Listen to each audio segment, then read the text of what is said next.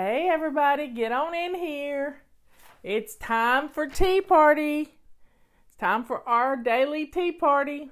Come on in. I've got my cup of Earl Grey right here. Please share our videos. You're so sweet to do it. Come on in. We've been uh, having great fun with our videos this summer. There's my brother in law. I'm to have to make him a moderator. He's in here so much. Anyway, come on in. It's time for. Uh oh. I did some. Hit. I grabbed a hold of my cord. Need to wrap that around there one time so I don't do that again. So come on in here when we get about 100 people. We shall draw a topic out of our wise old owl. Yep. So come on in. This morning we talked about being prepared, and this afternoon, who knows what we're going to talk about? Whatever the Holy Spirit decides is is on our mind. I'm going to go in here and I'm going to draw one. I got one right here. And I'm going to put that back there. I just got through emptying my dishwasher and putting all my dishes away. I wiped down all my counters this afternoon, just detail cleaning my kitchen a little bit, getting a head start on next week. So here we go.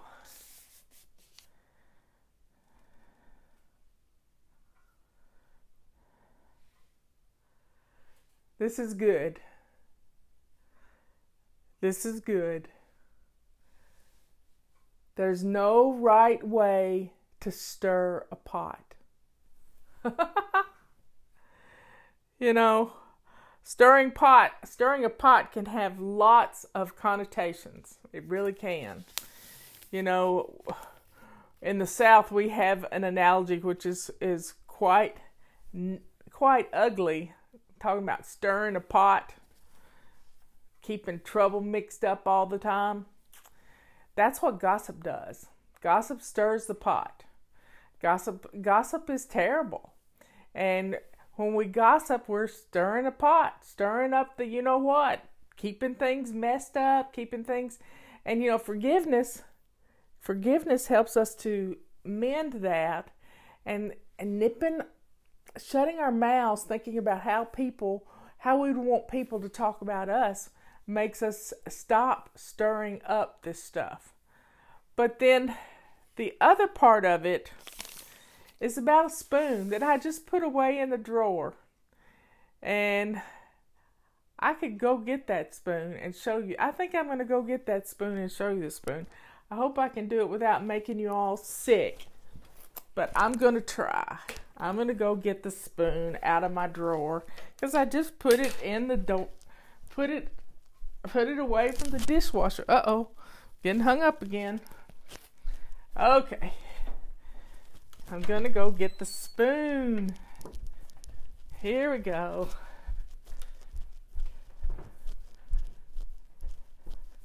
Going to my kitchen. It looks like we're having an earthquake, but we're not. Just me walking and the phone shaking. In my hand. Where's I got the spoon. Going back to the studio. That's my kitchen in the background. It's pretty and clean. Makes me happy.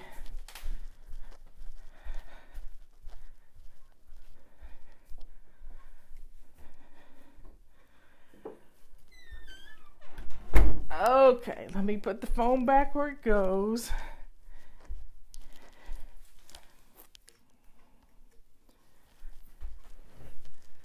Okay, let's see if this works. So, I like to pick up things at yard sales, and I got this at a at a thrift store. I think this was at the Habitat for Humanity. I found this cup, and you know, we have we have forgotten to drink. So let's take a take a little sip. Blow it. because mine's really hot. Yeah, we got a lot of greenery around here. We live in a lush sort of rainforest. So this spoon, let me show you this spoon. This is an old spoon that I got at a yard sale. But the spoon grabbed my eye when I saw this. You see the spoon? See how it's worn off right here? See how it's all worn off on this side? And you can tell it was held by a right handed person. And every morning she stirred the oatmeal. You just, you just, you just know that when you look at it. Every morning she stirred the oatmeal with the same spoon, used probably using the same pot, and she stirred it round and round. The consistency of this spoon was from a person who loved her family. Yep, she loved her family. She did it every morning the same way, very same way. She stirred the pot and she stirred it round and round and round. Now, when you think about stirring a pot, you never think about you could wear a spoon down. But that's the consistency. I love geology. And you I've got a rock out in my garden that has a hole in it, a hole dripped in it A hole dripped in it. Drip, drip, drip, drip, drip. And it wore a hole in this rock from the consistency of the drip, drip, drip. This spoon was worn, one edge was worn off from the consistency of stirring the porridge, the oatmeal, the cream of wheat, whatever it was they ate every morning for breakfast. It was done with a loving hand with this spoon. And it makes me happy to own this spoon. If it if it were um, we have another spoon that Robert found at the ocean that is is a smaller spoon than this. It doesn't anywhere come near to this spoon. But this is the consistency your routines are consistency. Gravy is a staple of food in, in, the South. Gravy is a staple, so it could have very well been gravy. But it was something that was done every day with this spoon. This spoon was washed and put away and picked up again and again and again. This this was a one I don't even know what kind of silver it is. But it makes me happy. It makes me happy. I got it at a yard sale. And it's it's a wonderful spoon. So what are your spoons going to say about you one day? You know what? What are your spoons going to say? Are they going to say that you were consistent in, in your everyday actions? Or are they going to say, that you didn't use it much. You didn't use it much. So let your routines, let your daily routines, it's not pewter. It's not pewter. It's just an old piece of plate, silver plate. That's all it is. An old piece of silver plate. And it is just powerful. Don't pay any attention to any bad people on here. Don't pay attention to them. Ignore them. I'll block them later. So, consistency, just like losing weight, being consistent, stirring, stirring gravy in a cast iron. And when you got one of these from one of your your your parents, one of your grandparents, one of your great grandparents, if you've got something like this from one of them, that says a lot. You know, I believe I'm here today because I had a grandmother who prayed for me every day, who prayed for our family every single day. I had a grandmother that did that. And she's the one that taught me the power in a shiny sink because after she would get through washing dishes in her sink, and she had one of these old timey sinks it was cast iron and it had sideboards on it. It was like its own cabinet. And every day when she would get through shining, when she would get through washing dishes and putting all the dishes away, she would take her dishcloth, her her drying rag, and she would wipe out her kitchen sink and and dry it and get it ready because she had hard water and she would get it ready for the morning. She would get it ready for the morning.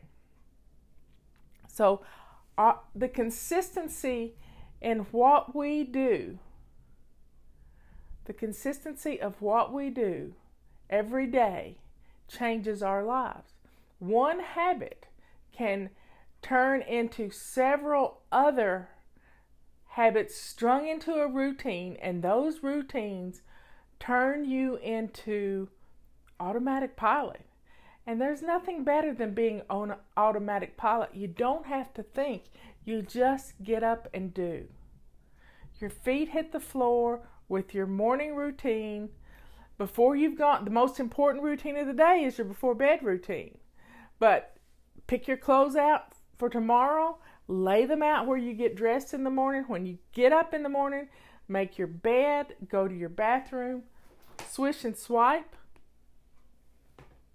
swish and swipe your bathroom, get your clothes on, wash your hair, do whatever you got to do in the kitchen. I mean, in the bathroom, and then take a load of laundry, put it in the washing machine. Bam. You got it done. You got it done. You know, ha- psychologists tell us it takes three weeks to establish a habit. They don't know us. This is why we practice a habit for a whole month. I give you about a 10 day grace period because I know what you do. If you miss a day, you throw the baby out with the bathwater. Now, I give you a grace period, jump back in as if you didn't miss a day. And then by the end of the month, you will have established that habit. It's amazing what habits can do. And there's more than one way to stir a pot, but when you stir the pot the same way every day, you get this. And that's the consistency. That's the consistency of your habits. And other consistencies may see you losing weight if you're doing less than 30 grams of carbs a day. It's you're just going to be blown away by what the consistency of doing the same thing every day. And when you get your routines done, that frees you up to do whatever you want to do. I wouldn't be here today. I wouldn't have written four books if I had a messy house because it would have just been keeping pulling me away from what what I'm supposed to be doing. So folks, drink up with your tea. Blow on it if you need to.